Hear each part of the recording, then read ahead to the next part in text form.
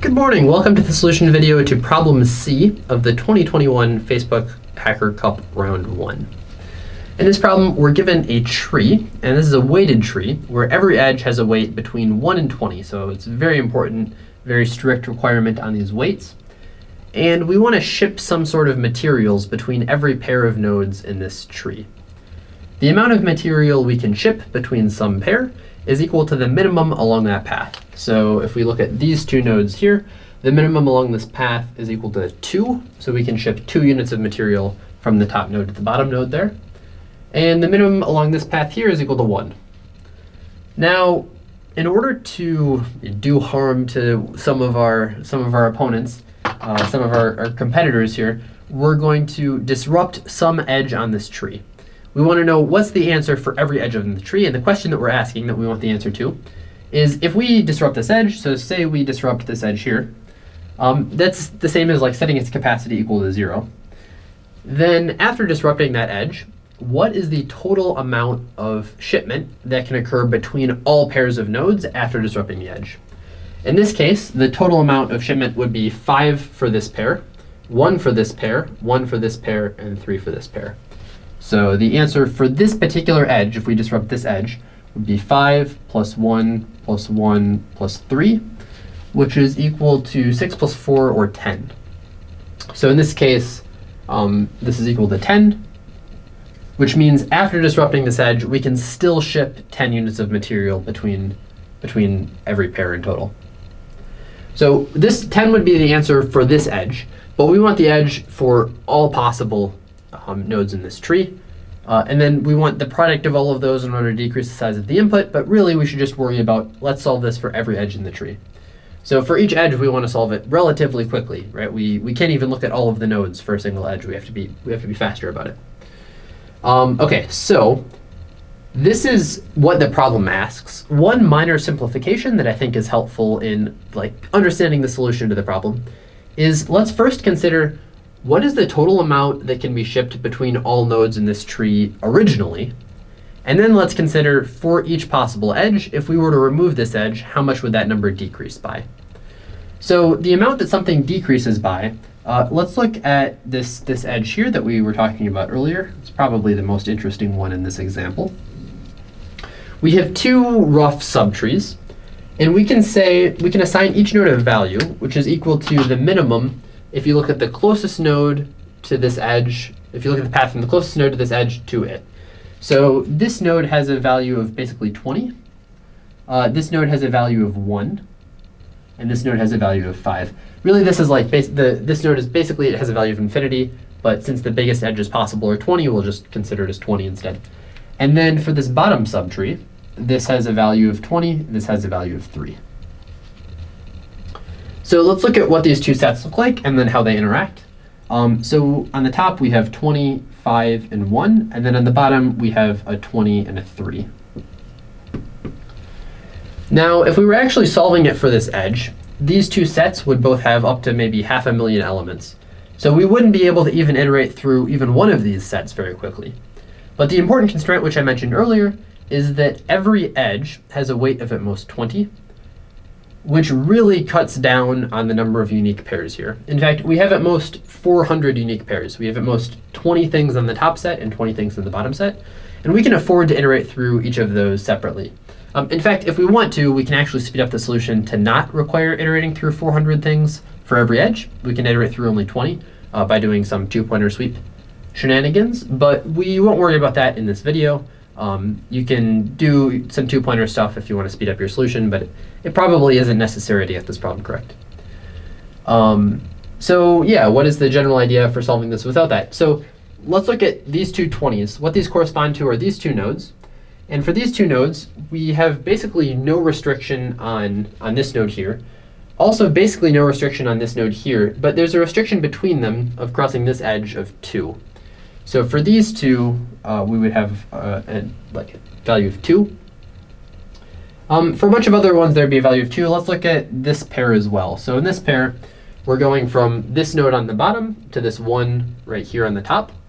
And that looks like this path here. And the minimum along this path is the minimum of 20, 1, and this 2. So this path has a minimum of just one.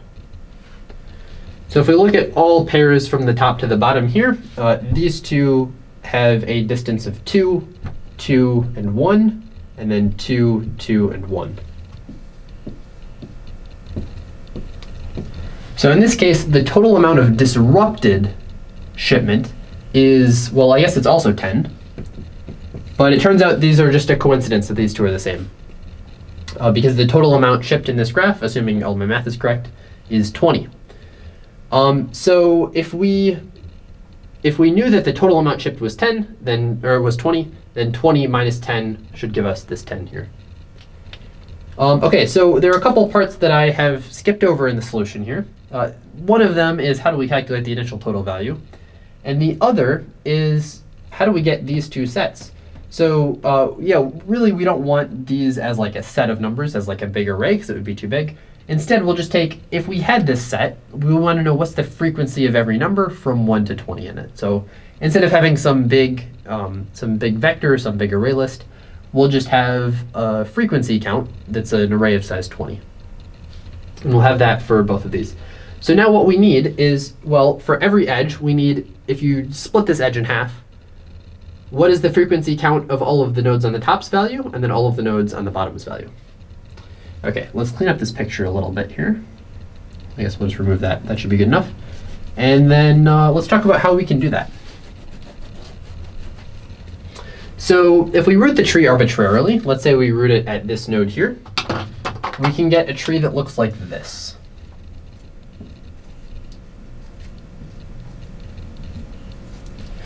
And what we can notice about this is that every node defines some subtree. So let's look at this node here. This defines some subtree here. And what we want is, for this node, we want the value of everything in its subtree. And then we also want the value of everything not in this subtree. So to get the value of everything in the subtree, we can do this with just a DFS. And the runtime will be the number of nodes times 20. Um, so here's how we do that we first DFS on all the kids, and for each kid, we say, okay, what's the value in that kid's subtree? So what's the value in here? And we want to know what's the frequency count of the blue number next to every node if we're considering this as like the root edge. So then to look at how the answer changes if we were to include this node as well, we know, let's say this, this has a value of 3, which is in fact the case. The set of answers for this node will just be 20 uh, because it's just this node by itself. So when we include this 3 and also this node, we're going to add a 20 because this node is currently unbounded. And then everything in this set, which is bigger than 3, will get floored down to 3, or I guess ceilinged down to 3. It'll get pushed down uh, to be 3. So here there's a 20 here. This 20 gets set to be a 3. And then this 23 is the same set that we have here. So that's a rough example of how we do this recursively.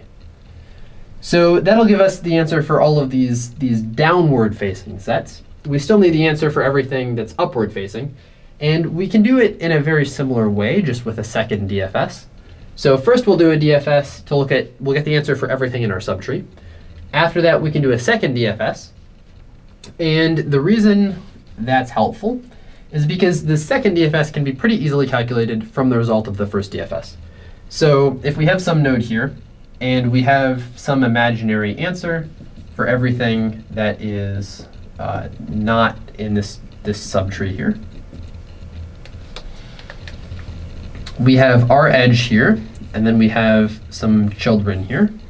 I'll, I'll just draw two children for simplicity, and then each of these have their own subtrees.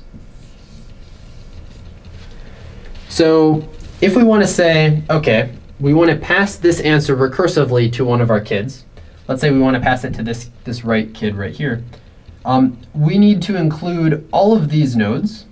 We need to bound each of those nodes by this edge. We also need to include this subtree here, and then we need to bound this subtree by this edge here.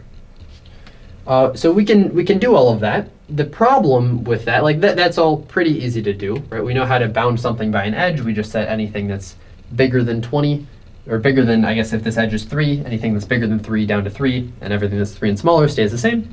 So all the frequencies there stay the same.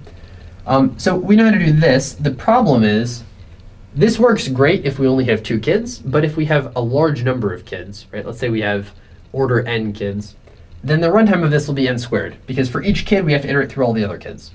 So that's not acceptable. Instead, we can speed up the solution by calculating uh, for every kid what is like the sum of values for all the kids, right? So we're going to take all of these things, combine them together, and bound each by its corresponding edge to the parent.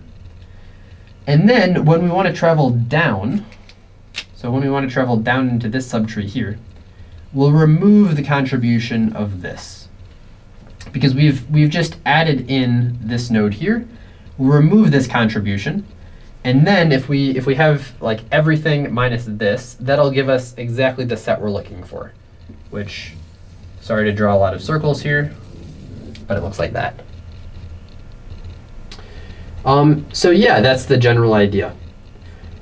Okay, hopefully that made sense. The, the top level summary here is first we're going to calculate, well, okay, actually there's, there's one more part that I do want to discuss, and that is now we have the distance from every node to every other node in the tree.